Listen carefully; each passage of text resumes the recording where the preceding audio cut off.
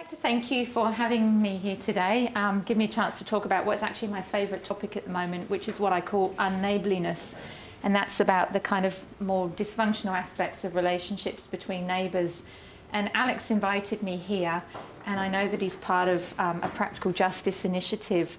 So it's really um, got me thinking about the kind of justice um, components of neighbour problems. And as I get towards the end, you'll see how some of the kind of the inequities of neighbour problems really play out and what um, um, kind of um, government organisations in particular um, are trying to do to assist um, people in managed problems because it's becoming quite a significant problem. So I want to thank Alex for having me and thank you for coming, particularly at four o'clock on a Thursday. I'd like to acknowledge my contributors um, with whom I could not do this research and you'll see why I couldn't do without them as we progress.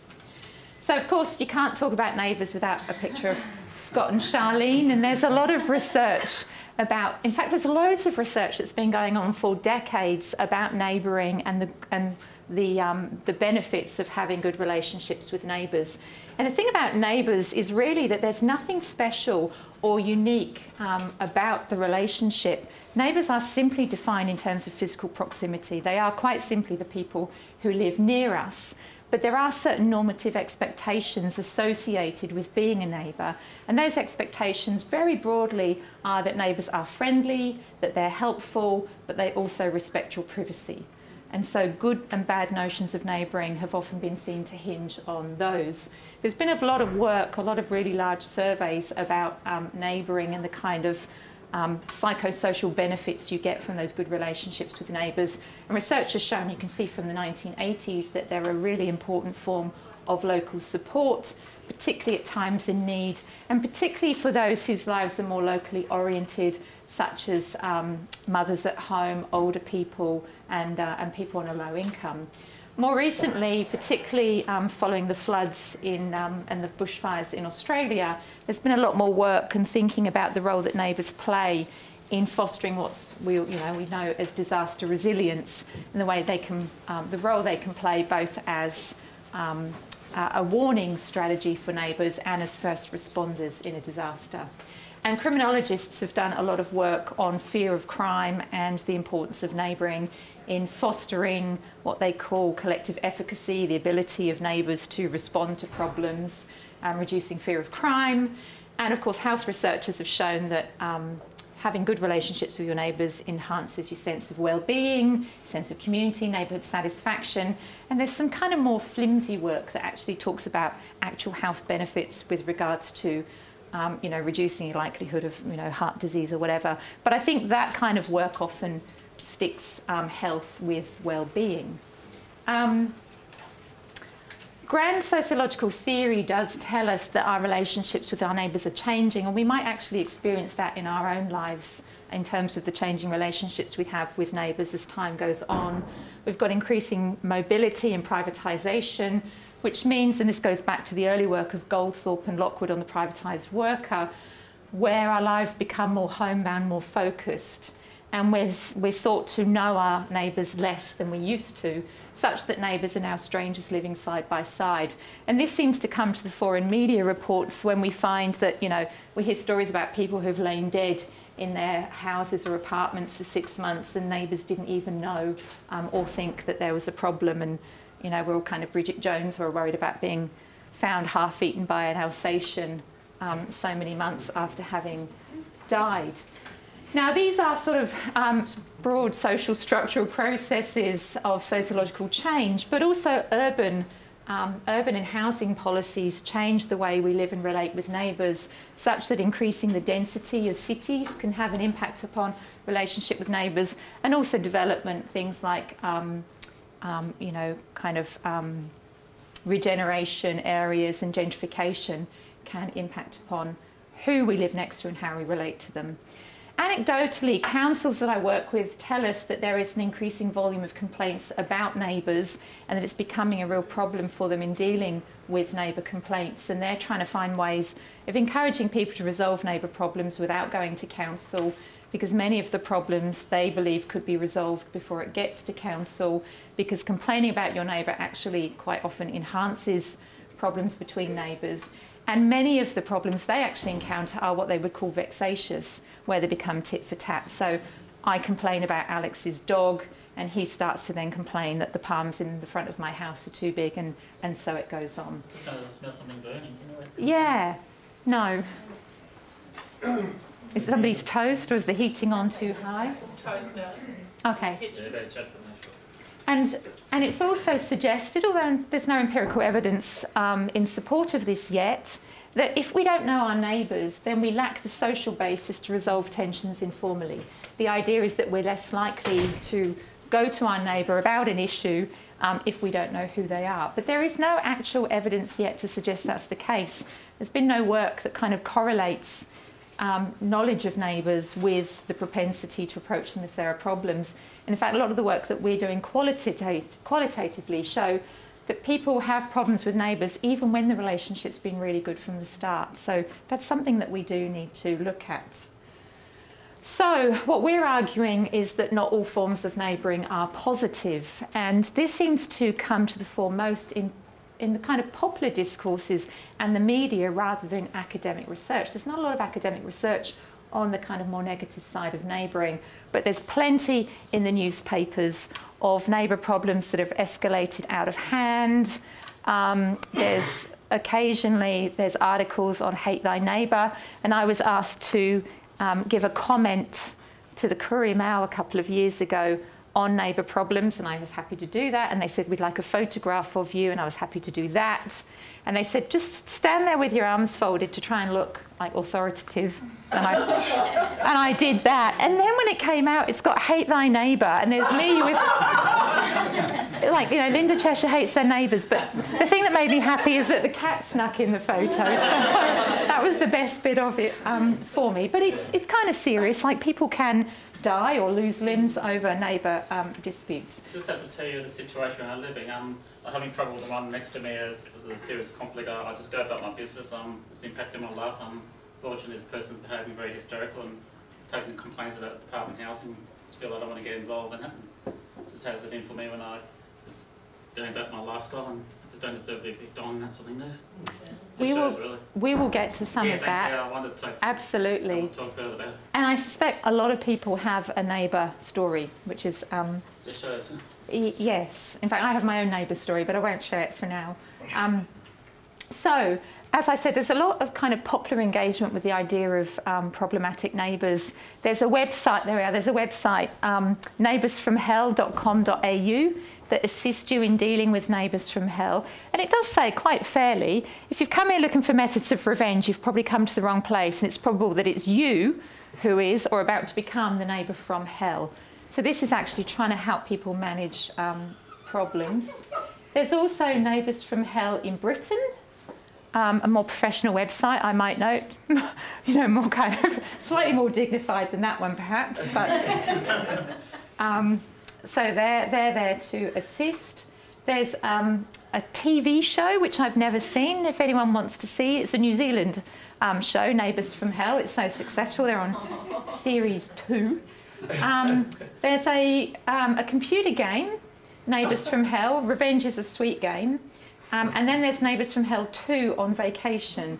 So, you know, it's kind of like, it's amusing, but as you'll see, we, there really is quite a serious side to it later. And um, in fact, governments, so in Queensland, the Department of Justice and Attorney General are trying to help people manage um, neighbour problems. And some of the most common ones are things like fences and trees. So it's actually been coming up with new acts to help people resolve uh, fences and dispute trees um, by giving some really clear guidelines. And I'm sure there are similar um, acts in New South Wales. So problems between neighbours, I, we're arguing, is that um, they are a significant policy issue, but we don't really know the impact of problematic neighbours. There's all that research about the good, the kind of positive impacts of relationships with neighbours, but very little about what it means if those relationships are, are difficult. And there's a lot of um, kind of attempts by community organisations to emphasise the value of good relationships with neighbours.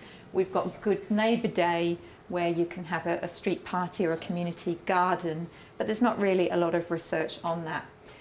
So with my colleagues, we've been um, developing a program of work on the negative side of neighbouring and the kind of guiding questions that we're asking are what are the nature, causes and outcomes of neighbour problems? How do they vary across different suburban contexts? As a way of understanding the kind of structural urban and policy processes like gentrification, urban consolidation and urban renewal and how they shape um, relationships with neighbours how problems between neighbours arise and how they're managed in the context of neighbouring relationships and interactions more broadly. So you can't really think about problems between neighbours in isolation of the broader practices of neighbouring that take place on a day, everyday level and what a dispute with a neighbour might mean as a result might mean for those relationships as well as how those relationships themselves shape the way that you deal with um, problems. We've come up with this concept of unneighbourliness and we're wondering is it simply the reverse of neighbourliness? If neighbourliness is about being friendly, helpful, and respecting privacy, do problems arise when those kind of normative expectations are breached? And what we're finding is actually that's not the case. We need to develop the concept of unneighbourliness inductively from the kind of prom- um, problems that people encounter, and then thinking about how that relates to neighbouring and neighbourliness. And so that's our final question. What do problems between neighbours tell us about neighbouring in contemporary suburban life more broadly? So it's quite a program, a large program of work, and we've been using multiple data sources um, to look at different aspects of that. The one I'm presenting on today is the first thing we're able to do is we added survey items on neighbour problems to an existing um, um, survey. It was a longitudinal survey of um, Brisbane neighbourhoods called the Australian Community Capacity Study. Um, it's about 4,000 residents in 146 neighbourhoods in Brisbane, and we were able to add about 15 questions about neighbour problems to that survey. We also work with the dispute resolution branch of um, Queensland Department of Justice and Attorney General, and they've given us their neighbour mediation cases from 1999 to 2014. And these are the disputes that actually become serious enough that people need mediation. And I'll show you what the data set looks like um, a bit later.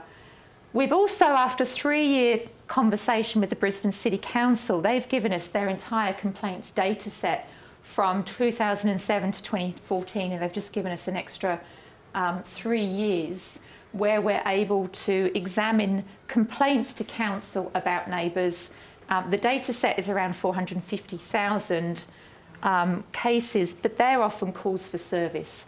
And we've had a very elaborate kind of spatial mapping activity to extract neighbours, which we've defined by physical proximity from that. And we've got about 111,000 neighbour problems. And the good thing about that data set is that it actually allows us to look at urban change and we can look at way neighbourhood change over time influences relationships with neighbours. And then we've got street studies in um, neighbourhoods where we've done 60 interviews to date, and we've done interviews with clients of dispute resolution. They're the people that have the most acute problems. So, what we found so far at a very brief level is that in our survey of the Community Capacity Survey, um, 64% of respondents reported that they had been annoyed or bothered by some aspect of a neighbour. We kept open the definition of neighbour, so it was really up to them what a neighbour was. But 64% said they'd been annoyed or bothered. And annoyed or bothered, which means that the neighbour may not even know they're a problem, it may or may not be deliberate, and it may or may not ever have resulted in a complaint, um, let alone mediation. We found that 42% of all of those annoyances um, were reported to feature some form of antisocial or criminal conduct, and I'll explain in just a minute what I mean by that. And we found some patterns in the data, and the one that I want to focus on today is that neighbourhood concentrated disadvantage increased the likelihood of residents reporting antisocial or criminal conduct upon neighbours. And in a more recent paper, we've also found out that processes of gentrification and urban consolidation make residents twice as likely to make a complaint to council about a neighbour as not. Um, so this is the breakdown of the problems people generally experience. Noise is a significant one. These won't be any surprise to you. Noise, domestic animals. What what um, respondents considered unruly or antisocial behaviour, unsightly or messy properties, boundary problems, parking, odours, invasion of privacy, damage to property, physical abuse, illegal or unsafe building structures, and other. And 35% had encountered no problems. And we actually need to spend more time looking at the people and the neighbourhoods where there are no problems and understand what's going on there. So what we've also we've then done is we tried to classify neighbour problems into two types. And the first type is what we've called private nuisance problems. Things like noise, pets, trees, boundary issues, disputes. And really they're about those kind of problems, as it says here, that occur in the domestic setting of the home and are where the, the use and enjoyment of one's home is believed to be affected by a neighbour in some way, deliberately or otherwise.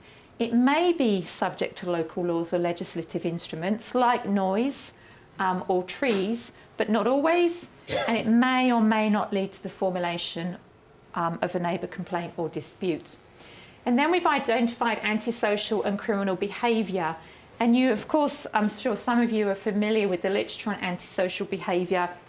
The concept itself is problematic, it's very imprecisely defined, but it's broadly um, lies on a spectrum from low levels of nuisance like litter and so-called unruly children to harassment, vandalism, and then more serious and criminal acts of burglaries and muggings. And we found from the data that the kind of problems people experienced were here's our, um, here's our no problems, and then we found that 37% of our sample encountered private nuisance problems on their own, meaning it was all that low level domestic kind of um, stuff. But then we found that you know nearly 27% encountered private nuisance problems in concert with what they considered to be um, antisocial and criminal behaviour. Interestingly, we found no, there were like 3% of cases reported antisocial criminal behaviour at the hands of a neighbour in isolation of private nuisance problems. And what that means is that when we find this kind of combined, it means either that problematic neighbours are problematic in a number of ways, or it means that if unresolved private nuisance problems escalate into something more serious, or that neighbourhoods in general are made up of constellation of all sorts of neighbours causing all sorts of high or low level problems. But then we, um, and these are the kind of, so when we go to the mediation data, these are the sorts of private nuisance issues that people talk about that actually lead to mediation. And I won't read them out loud to you um, for the issue of time, but you can see this is about a tree dispute, and this is one about dogs. And she states, Our neighbourhood is going to the dogs, please investigate. Now, of course, mediation don't investigate, they actually try and help people um, resolve their issues. But these are sorts of private issue, private nuisance issues that I'm um, referring to. I'll move on. This is antisocial um, behaviour, really with regards to physical abuse, threats and harassment. And you can see really that the kind of um, experiences people are talking about here are quite profound, quite scary, quite threatening, and these are genuine cases you know, being threatened, threatening children with violence. Um, here, I think one of them they says, um, A says B has told her he would only have to spend a few years in prison if he killed her. He's threatened her with violence. He's threatened the children, um, throwing chemicals on clothes, verbal abuse. Has you know, children are being threatened. It's it's pretty nasty um, stuff. Now, well, I want to get to the kind of inequities of this in terms of the um, in terms of the people who are most likely to experience these kinds of problems. And what we found from our research is that if you live in a disadvantaged suburb, you're more likely to encounter private nuisance problems with antisocial and criminal behaviour than to encounter nuisance problems alone. Now, this is where my colleagues really come to the fore because I'm a qualitative researcher, and yet here I am presenting the results of multinomial multi-level regression modelling. So, if you've got any questions about the methods, I might have to write them down and, um, and, and get back to you. What we've had a look is the kind of neighbourhood context of how people experience problems, and there is quite significant variance among neighbourhoods that show a clustering of particular problems in particular neighbourhoods. And we controlled for the individual characteristics of the respondents with regards to their own age, their tenure, and their income. But the kind of neighbourhood characteristics we looked at were concentrated disadvantage, residential mobility, and population density. Now, if anyone likes stats, this is the first part of the table, and it's about the odds of encountering one set of problems relative to another. So contrast one is about the, the odds, if you live in a particular neighbourhood, the odds of encountering no problems versus the odds of encountering nuisance and crime. And the data is actually a bit back to front because what this says is that if you live in a disadvantaged suburb, the odds of encountering no problems are, are lower than your odds of encountering combined nuisance and crime problems, which, if you flip it around, says basically if you live in a disadvantaged suburb, you're more likely to encounter combined nuisance and crime than no problems. And you can see mobility has an effect. Um, interestingly, immigration and non English concentration has an effect, but in the other direction. That actually, if you live in a diverse suburb, you are less likely to encounter combined nuisance and crime problems than no problems. And the results are pretty much the same when we look at nuisance only versus combined nuisance and crime. It's the same kind of thing. You're more likely to encounter nuisance and crime than nuisance only if you live in a disadvantaged suburb.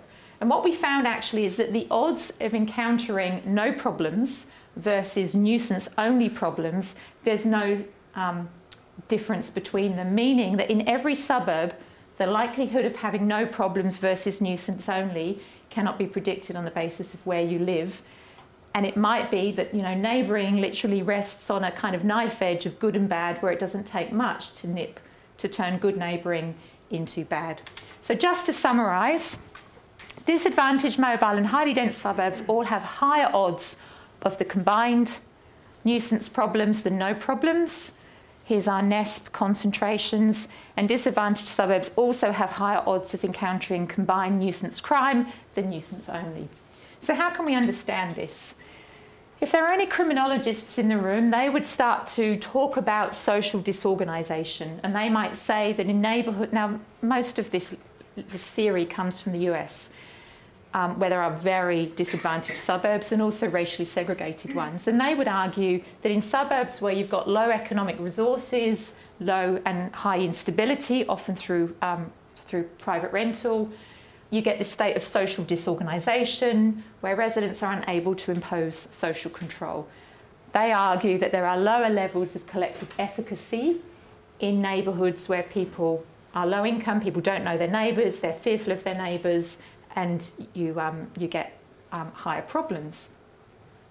That's what criminologists argue. Research on neighbouring shows that low income residents often have more intense relationships with affluent groups. They actually know fewer of their neighbours, but they know them more intimately, whereas affluent groups know more neighbours, but only have very fleeting and weak ties. And so the argument has been, um, or the, the research has suggested, that lower income residents have a tendency to confront neighbours, whereas in high income suburbs, there's what, what has called a moral minimalism. And that is, um, moral, moral minimalism is really about there's an impression of civility and harmony in the neighbourhood where people wouldn't lower themselves to fight with their neighbours because that would be uncivil. But the problem is that that occurs because of weak ties in the neighbourhood, meaning that people don't know their neighbours, they don't want to get to know them, but they don't want to disrupt the harmony of the neighbourhood. So while that might be seen as all very civil, there's actually no foundation for good neighbourly relationships at all in those suburbs. So, in fact, a tendency to confront problem neighbours might be a good thing if it's seen to rest on stronger ties and, and social support. And of course, as good sociologists, we would really be looking for more structural causes of what's going on in lower income neighbourhoods. And we would really have a look at the kind of urban and housing market processes that have a tendency to concentrate low income um, disadvantaged groups into certain areas of the city. And in particular, we're looking at if we're thinking about social housing and the way social housing tenants are now concentrated, such that you may be more likely to find problems. And that's what I want to turn to just in the last, how long have I got? 10 minutes, Corona? Sure. Um, just to show you about some of the kind of inequities of, um, of problems between neighbours for those people who are really most vulnerable in society. And what we found by looking at the dispute resolution data is that if you're a social housing tenant, you're twice as likely as a non social housing tenant to have a dispute with a neighbour that involves physical abuse, threats, and harassment. And the data that we've used to analyse this is from uh, the dispute resolution branch um, that I showed you, those 3,000 cases we had earlier. And what we literally did, quite manually, is identify all cases where one or more party was revealed as a social housing tenant. And we did this because this is what the data set looks like from dispute resolution. There's, um, you know, each column is about the dispute type, how they heard of it, where they live, the relationship length, the kind of behaviours. But there's what also happens with these cases is when people ring dispute resolution and say, I've got a problem with a neighbour, the person on the end of the telephone or at the counter says, OK, tell me about that. And they explain what's going on and they literally write it down. So we've got qualitative fields that look like this. This is party A. And party A is like, this is what's been happening to me. Party B, or sometimes there's even C and D, they respond. We've got 5,000 pages of qualitative text on disputes between neighbours. And so what we did is we searched in all of these for any reference to social housing tenants. And that might be because people were saying things like um, they were referring to the department, they were referring to housing in capital letters, they were referring to terms like um, what did Department of Housing used to be called? Commission, Housing Commission, HC, the department, tenants. And we found 236, which is probably a significant underreport, but they're only the ones that where people explicitly made reference to either themselves or their dis, you know, disputing neighbour being social housing. And what we found from the um, data is that most of the disputes seem to be occurring between tenants in areas of concentrated social housing. So the disputes were between social housing tenants rather than between a social housing tenant and an owner occupier or private um, renter. And it looks like in many cases these are people who live in medium density apartment blocks rather than freestanding homes. And you'll see that in some of the data. So this is the data set. So there's a lot of literature on the poor neighbours of social housing. And um, social housing tenants are unfairly stigmatised as the kind of worst neighbours that you can get. And this has really been a kind of result of media beat ups and government policy. Antisocial behaviour in the UK was very much targeted at social housing and problem estates. And so, social housing and neighbour problems um, are seen through the lens of antisocial behaviour in a way that they don't when you encounter problems with neighbours in private um, rental or home ownership. There have been a lot of harsh policy responses coming from Queensland. We know better than most about the policy responses to do with antisocial behaviour. We had the three strikes policy, um, where you get a strike for every problem, including a dispute with a neighbour, and you get three strikes and then you're out. And luckily, that's changed with the change of government. I think housing researchers, um, and Alan would know this, recognise that um, antisocial behaviour is a legitimate policy concern. When you see some of the data, people are really doing it tough at the hands of neighbours, as you've um, explained to me. But we need to have conversations about this without stigmatising tenants as a category. And we would argue that many of the problems are linked to social housing policy and the so called residualisation of social housing, where social housing has diminished now to less than 4% of all housing in Australia. And of course, waiting um, lists are high. There's what, 50,000, 30,000 in New South Wales alone, 60,000, 15,000 in Queensland. The only way housing providers can manage that kind of overwhelming um, need is by having an allocations policy based on high need. So the, the greater your need, the more likely you are to get um, social housing, which means, of course, it really ends up populating or accommodating people who have um, some of the more complex problems. And this was, it's back in 2012, but this is the allocation of social housing um, in Queensland. And you can see that 67% of all housing goes to people with very high need, meaning not only low income, but mental health challenges, drug and alcohol abuse, family um, breakdown. Um, high need is 27, moderate is 5, and low is 0.68.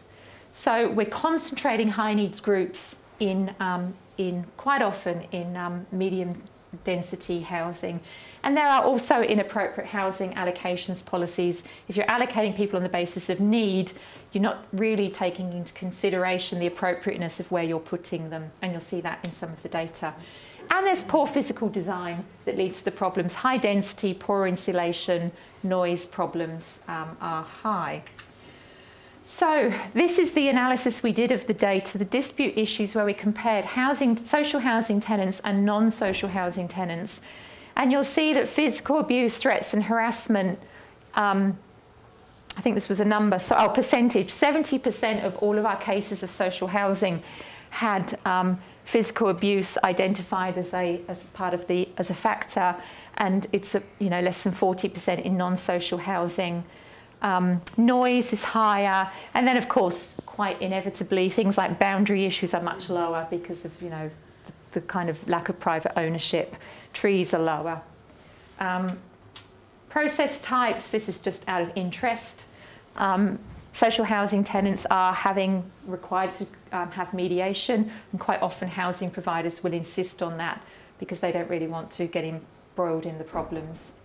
Uh, the dispute length, you'll see that social housing tenants tend to have slightly longer disputes than non-social housing tenants, and that would be because the tenants, the um, tenure is quite a stable one, where people remain in their homes for, for quite a long time because you know you work damn hard to get it you're not going to give it up and that would be the same with the relationship length as well. You can see that they have longer relationships with their neighbours than non-social housing tenants.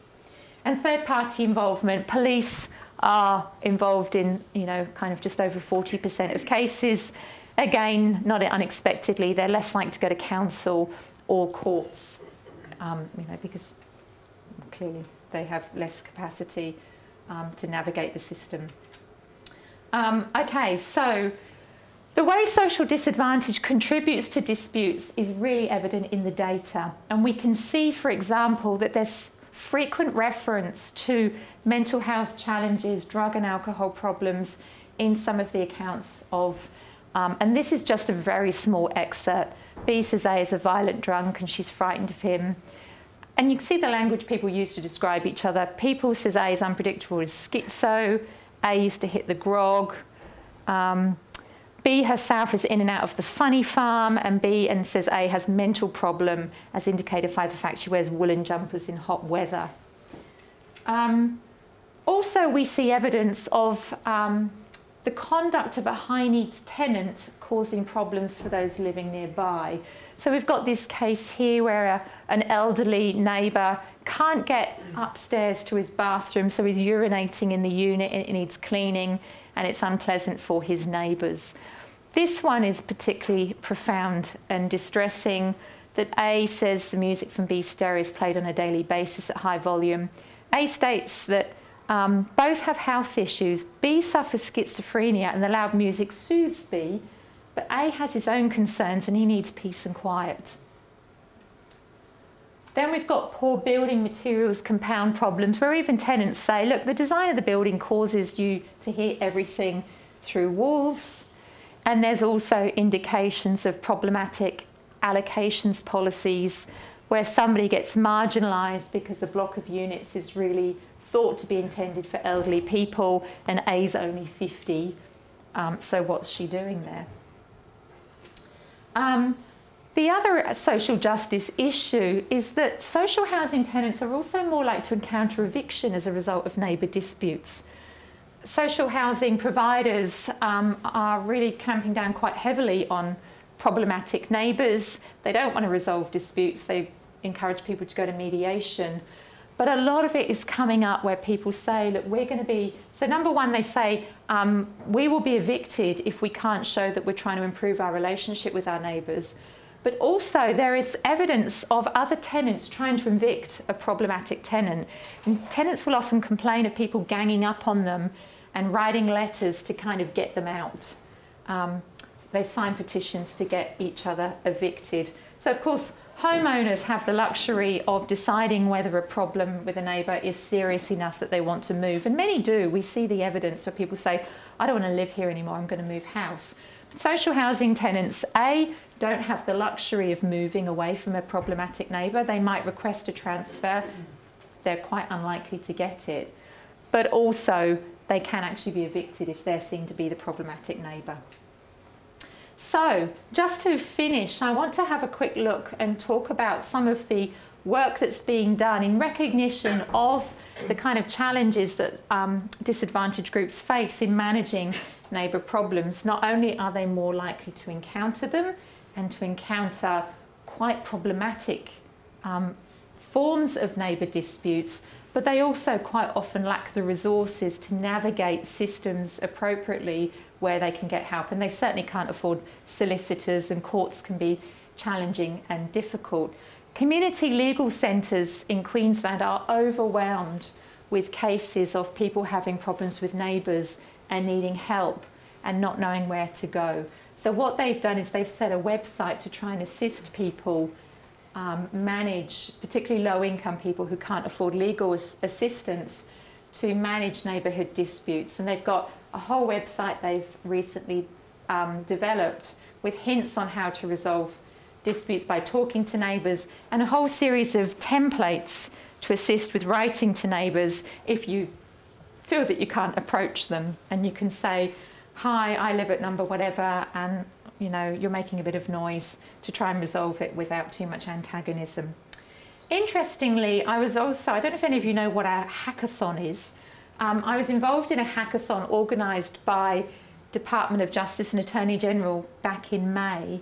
Um, and this is where you, you come up with a legal problem, and for two days you get students and junior um, uh, lawyers and IT people to come and brainstorm a way of solving a problem. And the one that they looked at this year was called Access to Justice, helping resolve neighbourhood disputes. So it was about promoting safe and peaceful communities by helping neighbours resolve their disputes. And it was recognition again that people have differential access to the legal system and they're trying to get justice available for all groups. So um, I set up the problem um, with a presentation similar to this.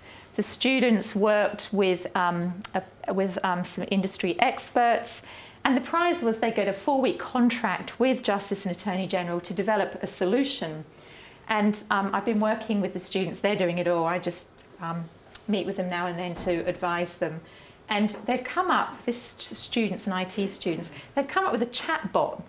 I don't know if any of you heard of a chat bot. I think it's a kind of um, blend between a robot and something you can chat with. And it's where you can receive tailored information about your neighbour problem. Um, and they argue that it can be accessed at any time, it helps reduce strain on current, current government resources. It can, okay, so this was how they pitched it to the Queensland Government, and then you can divert your resources to more important issues. But it was also a way of giving people easy access um, and an educational tool. And this is what they've developed so far. It's, they're a group of young people, and it's quite clever. Okay,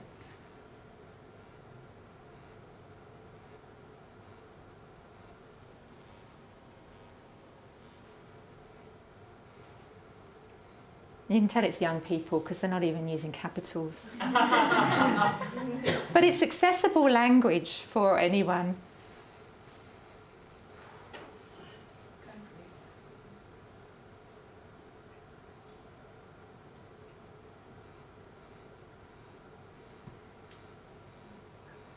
So this would be, you know, your, your texting.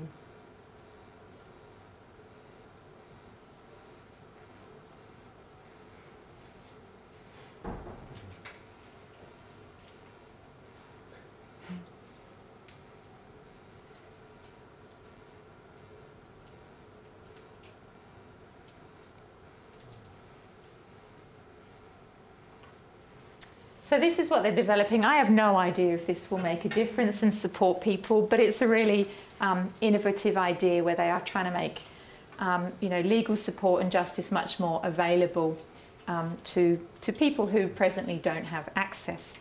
So with that, I'm just going to finalise by acknowledging all the people that, um, that help with this research. And of course, if you want further reading, here's reference to some of our papers, but um, there's plenty more um, on this and there's a lot more work to do as well. So thank you. And if anyone has any questions, I would be very glad to take them.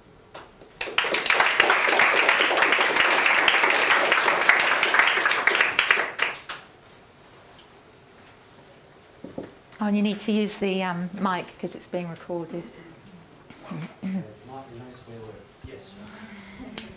Um, thanks for that. That was a really good synthesis of lots of different data sets and different types of data. I really enjoyed that aspect of it. Um, I was just curious about the um, the data that had come up around the um, immigration and English as a second language. Just I, it's kind of a bit of an aside, but I guess we're in a context at the moment where there's an assumption that immigration is a threat to the social fabric of Australia, and we've seen some events in the late last week that have communicated that. Does that correspond with other other kind of other kinds of data in this area around, say, that the threat of immigration on on good neighbourliness, or is that something that could be used to try and destigmatise some of the public assumptions about immigration? Yeah, and maybe but there are two competing explanations for the way people relate to neighbours in um, ethnically diverse neighbourhoods. And one is this sense of hunkering down, Robert Putnam's kind of work, where he says, and he thinks about you know the idea of kind of white Anglo-Saxons living in ethnically diverse neighbourhoods, and they have a tendency to hunker down and only interact with people who are like them. So there are very little neighbourly, neighbourly interactions, including reported problems or complaints. Um, then there's um, the kind of contrast of that, which is a sense of like rubbing along together, where everybody's new, everybody has different kind of normative expectations and practices, and that it actually does create a sense of harmony um, in the neighbourhood. Now, we don't, what we don't know, and I think this is something we could do from the data, is that shows that people, and it, it's interesting actually because that data set was about annoyances and nuisance, not about complaints. So people are less annoyed or bothered by their neighbours in ethnically diverse neighbourhoods. So that can only be a good sign, right? Because this isn't even about um, this isn't even about um, that kind of Baumgartner um, um, civility idea, because it's just like, do they annoy you? So yes, I guess it could, but what we don't know and we need to know is what is the relationship like with neighbours in general? Do they know their neighbours? Do they interact with their neighbours? And does that impact upon whether they're annoying or not? Does that make sense? Yeah, yeah. Did your study also check up and see in the whole world? I'm loud enough. Oh, it's because it's not for amplified. Yeah, in the whole world, um, whether where where does Australia stand as good neighbours or bad neighbours? Good question.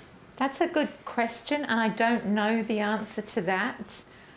I don't know if there are global studies of neighbouring, and of course, the only way you can do those comparisons is by having consistent measures because some, you know, people ask questions differently. I think Australia, so what I do know is Australians move house on average every five years. So um, we are really quite a, un, unstable is not the word, but there's a lot of mobility. Um, the truth is, I, actually, I don't know. There is work done on neighbouring in sort of developing countries and also countries like Hong Kong and China where we're seeing a lot of growth and development. I don't know. I, I don't know. Anyway, the last question was on the chat box. Do you actually give your names or is it some fictitious name that you give when you're chatting? It would be entirely up to you. They do want to. Um, they want to make sure that nobody feels they're handing over confidential information. Exactly. So they've had a conversation about because they need to know where somebody lives in order to know which council Um, and they were initially going to say, "What's your address?" But that might make people, you know, worrying about providing confidential information, which is why they've gone to um, postcode. I think they could go to suburb. So you don't, you wouldn't have to say your name. It's per, it's entirely anonymous. Yeah. Thanks. Hi. Um, the strategies you've mentioned, for example, um, templates um, and strategies for talking to your neighbours on the City of uh, Brisbane website, um, and also, for that matter, the chatbot, um, seem to be addressing the personal rather than the antisocial criminal activity. Um, any strategies to deal with that one?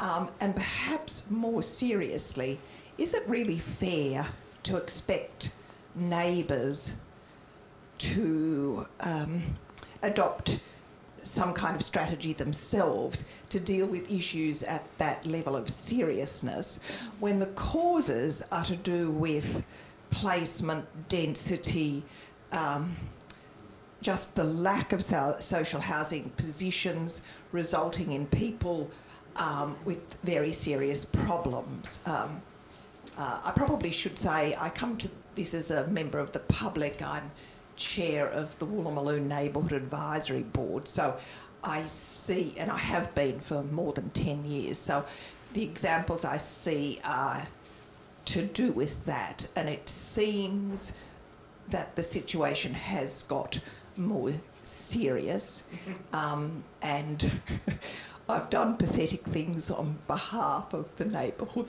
board, such as writing to Housing New South Wales and suggesting that they don't put such a strong concentration of people with high level, particularly drug use and drug dealing problems together. And they just write back to say, you know, we're terribly supportive of everybody. and they, they don't actually commit to anything of that sort. And, and I understand it's because they've got no choice. There just aren't enough housing places. Anyway, do you think there's an answer that is a bit more hopeful than that? Oh, crikey, that's a big answer. so, I mean, of course, as sociologists, we constantly talk about structure and agency, and we don't want to deny the existence of either. So, structurally, you're absolutely right. You know, many of the problems that we encounter, not only in social housing, but um, in high density and gentrifying areas, are to do with things like um, poor planning, um, you know, um, cheap building materials, particularly in social housing, that compound the problem. And then you've got the allocations policy with social housing. On the other hand, I- I think social housing providers are trying to at least give their tenants the skills to negotiate problems before they become too problematic.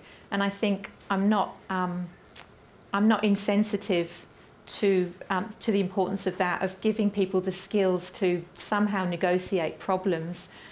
But it is much more complex, and there's a lot of work on sustaining tenancies in trying to recognise that you know the, the problems with neighbours is a result of those complex problems, and that rather than turf people out, what you need to do is to work with them and provide them with um, sort of wraparound support. So there's a lot going on, both in terms of planning and design, in terms of housing providers, and in terms of you know providing support for people so they can have mediation. But that's a matter of funding as well. Yeah. Because the um, community services officers, Mm. um, somebody threw in the, a point that in some places overseas, all community services officers or equivalent positions had social work degrees. And the answer that came back was it wouldn't really matter whether they had a social work degree because each CSO was dealing with hundreds of, of mm. of cases of households. They simply don't have the time mm. to do the kind of work. So What the they- skills are a tiny bit irrelevant. What they can do, what they do, and in Queensland, what they've done is target those people whose tenancies are at risk as a result of these and other problems, and they've provided um, social work support, um, individual tenancy plans, and it was a it was it was a project rather than a program because projects don't endure. It was a pilot, but the results after 18 months showed that problems between neighbours were reduced among those people who'd been part of that problem. But it was a very intensive, individualised tenancy support program. But it worked. And it wasn't about kicking people out. Um, yes, I just wanted to um, to query the point about um, Department of Housing having no choice about how much housing they actually could provide, because in fact they've just they sell off housing. Um, Millers Point, where I lived for 13 years in public housing, sold off holus bolus, the building I was in. I, I didn't mean know, that. No, but, but what I mean is, if they if they believed in what they were doing, if they, I mean, I, understand that it's about what comes from Treasury, but if they put up a better case, um, and I think the other thing that happened is that housing was never on the political agenda, and then it started to slowly creep on the political agenda because of the the um, in, in relation to Department of Housing and, and community housing and Aboriginal housing, because it was um, um, it was so obvious that the that there was a huge list building up and that there were there were um, concentrations of people with um, serious high needs living together, and that that was you know inevitably going to be problematic. Um, but then suddenly it was all about you know young people and avocado toast and mortgages and you know generational um, inequities, and somehow the social housing stuff just fell off the agenda in terms of housing. So I, I just think I just think you know like I still feel very very cross with them, and I, I just think that and they talk about well we did this so that we could um, build other units in less. Um, in less salubrious places than Miller's Point, say, um, and, and therefore cre- increase the number. But it just goes back to the ghetto system, and I don't even think they've, I don't even think the numbers match. Thank you, yeah. Yes. Yeah, just where I'm currently living in Department of Housing, um, St George um, is going to take over in April next year. So it'll be a good thing because they, they have more power to deal with this all this behaviour problem that's coming around there, you know. And there's been, a- it, was, uh, it hasn't been doing any good for the Department of Housing to deal with it. So interesting to see what the next phase will be. Good luck. I Yeah. have, I have I've also put in for a transfer and they approved my application January this year. After I've had um, a few knocks back before. Awesome. I tried mutual exchange and nobody didn't want it. So, so thankfully I got help to get this um, application. So it take, would take about 12 to 18 months to on me to pro- property. Good luck. I mean, I think the, the fact is that you know we don't want to stigmatise social housing tenants, and this the intention of this discussion is not to do that. But we also need to recognise that some people have very traumatic experiences at the hands of difficult neighbours, and we need to sort of help support yeah, those people. And for many years. And yeah, uh, I'm not impressed by the complaints. I mean, they just want to take advantage of a go at me and like, they're very sensitive about it. good luck. It's been a police matter at times to deal with it. So we've got one question here, and if we have time, which I think. I'll keep my answers short. Yes and no, please. Okay. no. Hi there, that was a great presentation and thank you. I just wanted to ask, um, I know the Redfern Waterloo area is eh, kind of in a process of, in the future, maybe there's going to be a mass um, gentrification of that area. I'm wondering what you know of. Have there been instances of that kind of mass gentrification? What um, literature is there around how to manage, I guess, what I perceive is going to be an influx of neighbourhood disputes? Ooh. So yes, um, I'm happy to send it to you. Um, this one, um, how gentrification and densification influence the prevalence of problems between neighbours. Yes, um, suburbs that have above average um, rise in the arrival of high income, educated um, residents increases the odds of encountering complaints to council. What we don't know, and I'll keep this quick, sorry, Alex, what we don't know is who's complaining about who. So we don't know if it's the gentrifiers complaining about the incumbent working class or about each other, or even that the incumbents are complaining about the newcomers. How to manage that, I, I don't know, and I couldn't talk about it in the short time I've got left, but it's an issue. Knowing it's an issue means that we could, you, you know, planners, councils, community organisations could think in advance about how that might be done. Like, I don't know, I'm talking off the top of my head now, meet and greets, get to know your neighbours is a start. I don't, I should two more because I missed one, so I'm sorry. I apologise. Failure is a chair.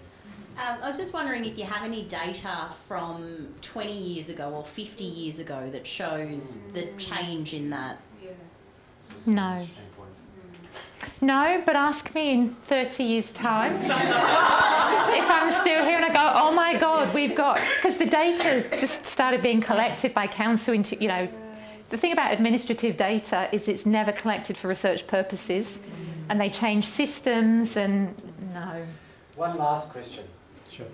Uh, no, It's going to be a tricky one, isn't it? Um, no, I think with social housing tenants, obviously there's uh, there are a lot of um, very positive aspects in terms of neighbouring. So obviously the residualisation has really you know, impacted dramatically. But in my own research on Miller's Point, for example, I mean there were very very intense neighbourly relations which enabled people to age in place. You know, people looked out for each other. Um, people assisted people when they were ill, etc., etc. So so I think um, that's very important. Obviously, the issue of uh, uh, limited fluidity, very important. You know, people having similar historical um, you know, lives, etc. And I think the other thing about uh, physical structure is very important. You know, the compactness and that whole Jane Jacobs, you know, informal contacts, constant contact, the Mm. role of the pub, etc., etc.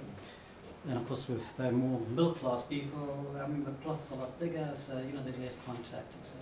Yeah. Look, I agree with everything you've said, and and if had I had more time and had this only been about social housing, I would have absolutely addressed your point about the sort of positive social capital. But this paper here, antisocial or intensively sociable, is exactly that. It's about people have very intense relationships which are positive, like there's a lot of support, um, but sometimes they spill over into into disputes that people don't know how to manage. Perfect timing and thank you, Lynda. Thank you.